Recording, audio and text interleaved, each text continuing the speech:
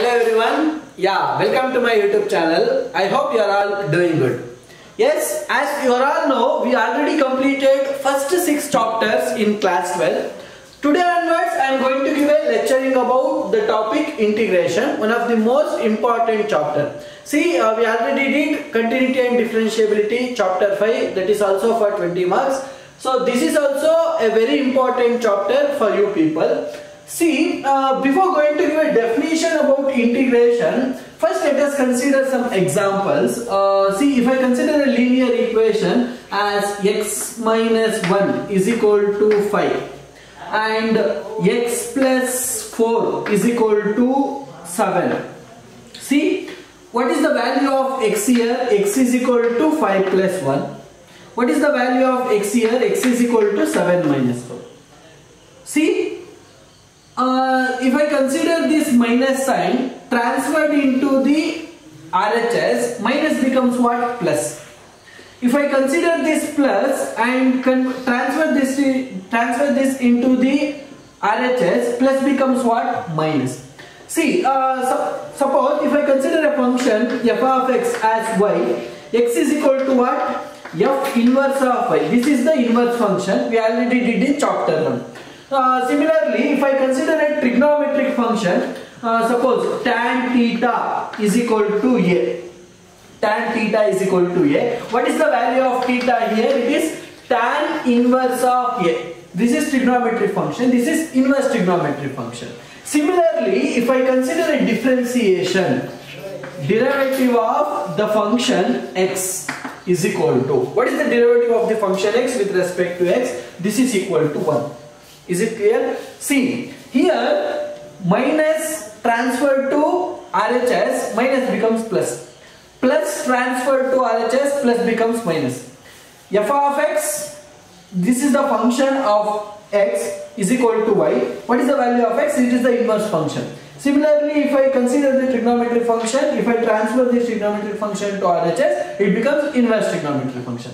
What about this? See, x is equal to, if I transfer this differentiation to RHS, if I transfer this differentiation to RHS, differentiation convert to integration of 1, what with respect to what? Into dx. See, this is derivative of x with respect to x. Integration of 1 with respect to x is nothing but this is the result.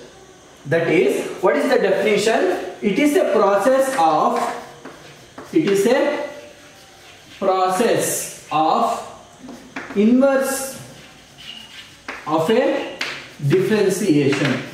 It is the process of inverse of a differentiation. This is called the integration. That is integration, integration, integration is a process of inverse of a differentiation. See, uh, we, are, we are all know derivative of sin x. Derivative of sin x. What is derivative of sin x? We are all know x. Suppose, see, if I transfer this differentiation to RHS, see, sin x is equal to what? Integral of cos x. See, this is the result. Integral of cos x is sin x. If I convert this integration, transfer this integration to LHS, it becomes derivative. Derivative of sin x is cos x. See, uh, what is derivative of cos x? What is derivative of cos x? Derivative of cos x is minus sin x, right? So, if I transfer this derivative to RHS, see minus integral of sin x into with respect to what? dx. See integral of sin x into dx, transfer this minus to this. Therefore, integration of sin x is minus cos x. In differentiation of cos x is minus sin x. See, this is the beauty of mathematics. Especially in differentiation and integration. It's just a inverse of differentiation. Integration is the process of the inverse of differentiation. Is it clear all of you? See these are the result. Um, similarly we have some more result. Some more result in integration. See and here uh, we should note that another important point. See, uh, see uh, if I consider the derivative of fi is equal to what? 0. Derivative of 100 is equal to what? 0. Why? We, because we all know derivative of constant function is equal to what? 0.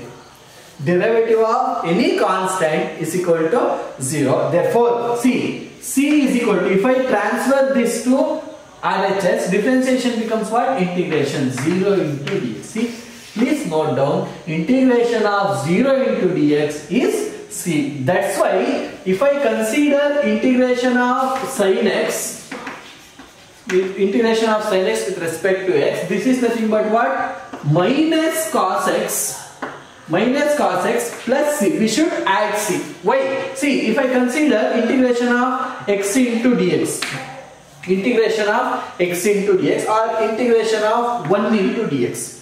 I already told you, integra de derivative of x is 1. Derivative of x is 1. Therefore, x is equal to what? Integral of 1 into dx. Integral of 1 into dx is what? x. 1 can be written as the integral of 1 into dx can be written as 1 plus 0 into dx. See by algebra 1 into dx plus integral of 0 into dx. Any number added with 0 giving the that number giving a result as that number only. See this as the result x plus integral of c. See 0 is c. So this is the rule. Whenever you see this is called the indefinite integral. This is called whenever we are going to give a result of indefinite integral at the end we should add this c because what is the reason? Differentiation of constant function is 0 constant is equal to integral of 0 into dx.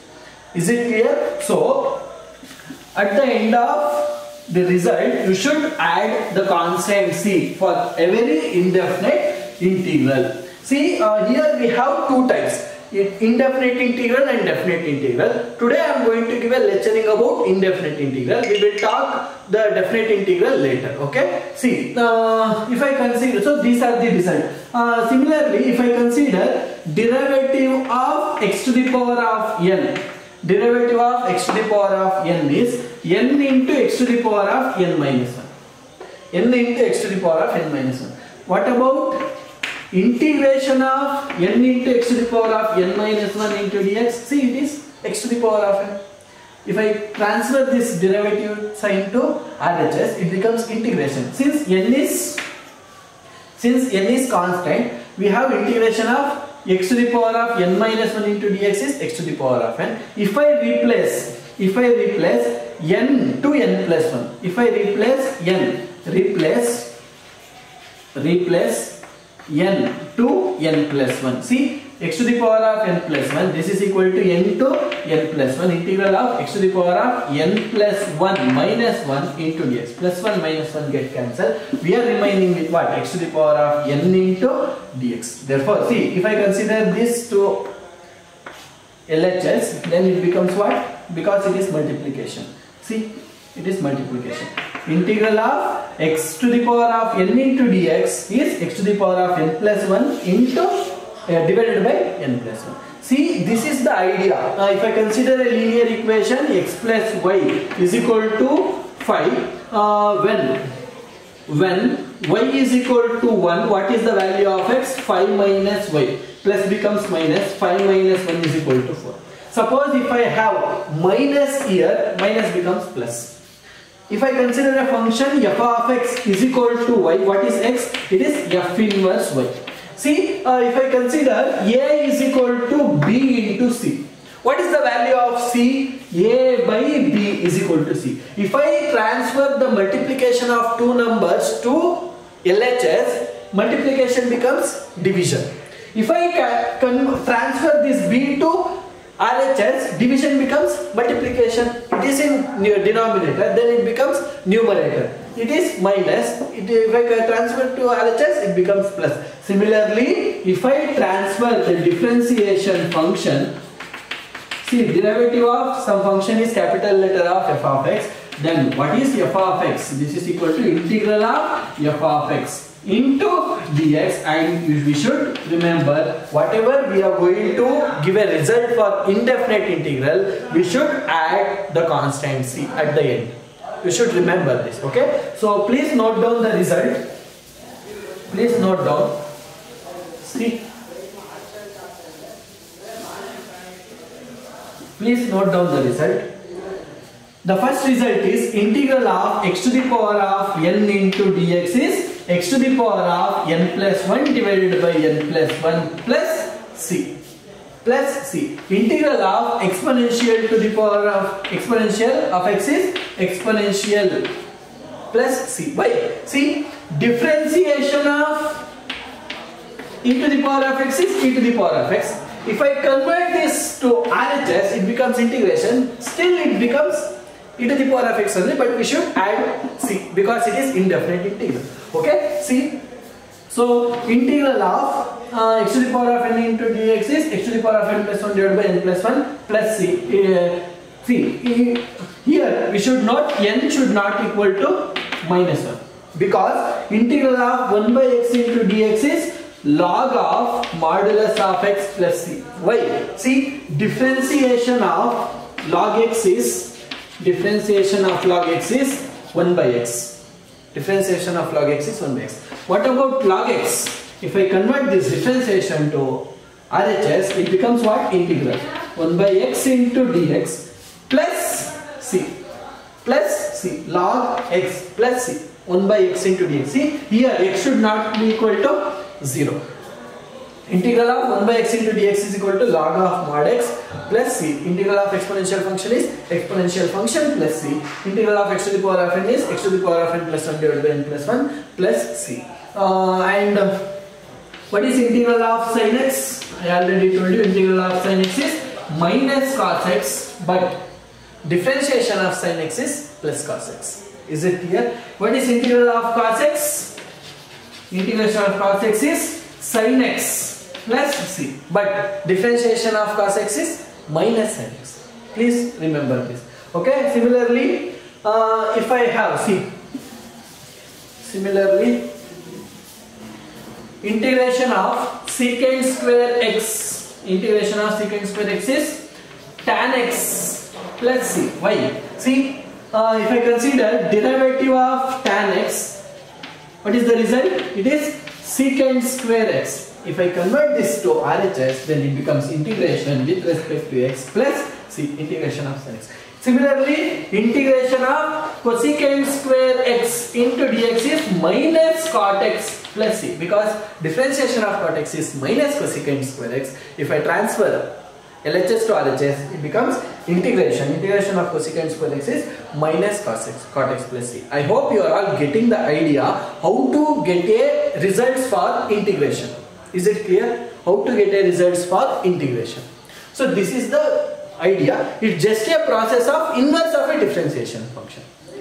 Inverse of a differentiation function. Please note down.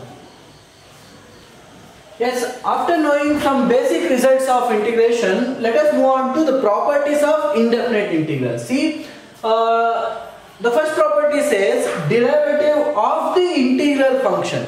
Derivative of the integral function see uh, if I consider uh, A into A inverse in matrix if I consider the square matrix A A into inverse given what? Identity matrix.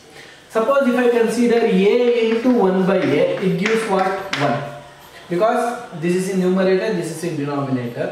Multiplication of the division. See this is A. Multiplication of the division of A 1 by a this gives what? 1 similarly these are what? Inverse.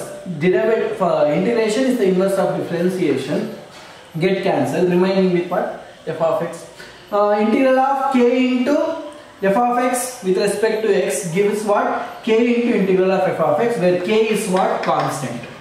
Where k is constant. Where k is constant uh, uh, we, uh, we should take k outside okay integral of f1 of x we, if we have two function integral of the addition of those two function gives integral of the first function plus integral of the second function this is also holds good for minus also This is also holds good for minus also. this we are more than enough to remember to solve the problems on the indefinite. Let us move on to the one mark problem, the very very important. This uh, this type of problem examiner like to ask for our annual examination. See, uh, these types are more than enough. Okay, this is for one mark. Okay, in part A, sixth question will be this one. Okay, yes. What is integral of x to the power of 15 into dx? We are all know integral of x to the power of n into dx is x to the power of n plus 1 divided by n plus 1 with the addition of the constant c. Therefore, here n is equal to what? 15. So, it is x to the power of 15 plus 1 divided by 15 plus 1 plus c.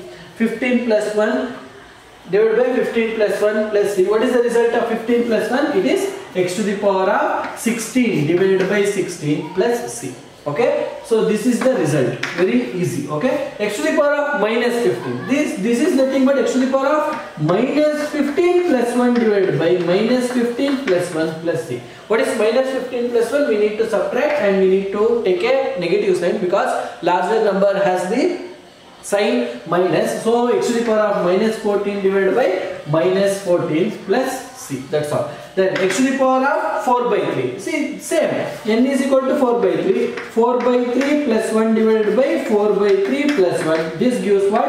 x to the power of see LCM is LCM is 3 then 4 plus 3 7 divided by 7 by 3 plus c. Don't forget to add c. See I already told you about this constant okay yes x to the power of minus 5 by 4 x to the power of minus 5 by 4 plus 1 divided by minus 5 by 4 plus 1 this gives what x to the power of c uh, here LCM is 4 minus 5 plus 4 is minus 1 divided by minus 1 by 4 plus c plus c. Is it clear? Yes. Then let us move on to this integral of 2x square plus ex. See this is the one function this is the polynomial function. This is e to the power of x is the another function. That's why I told you. e to the power of f1 of x plus or minus f2 of x. Here we have plus. Therefore, this can be written as what? 2 is constant. By considering this second property, k into f of x. Here 2 into x square can be written as 2 into integral of x square 2 into integral of x square into dx by using the third property integral of e to the power of x into dx this gives what? 2 into x square is x cube by 3 plus e power x is e power x plus c. This is the result. Okay? Yes. Then we move on to integration of trigonometric functions. See integration of sin x plus cos x into dx. It is of the form what f1 of x plus f2 of x. This can be written as integral of sin x into dx plus integral of cos x into dx. This is equal to what? Integral of sin x is minus cos x integral of cos x is sin x plus c. See these are the very important problems. Uh, you may getting you will definitely getting these type of questions for your annual examination in part A for one mark please go through it. And um, I added more questions in my notes which is available in my description part of my YouTube channel. Please go through okay so this is for one mark I hope you are all getting the idea of the integration. What is integration? It is the is just a process of inverse of the differentiation. And we are we, are, we also noted some uh, basic results of integration. Using that result we did this. Okay please go through it. Thank you everyone. I will meet you in the next class with the next important subtopic in integration. Thank you. Bye bye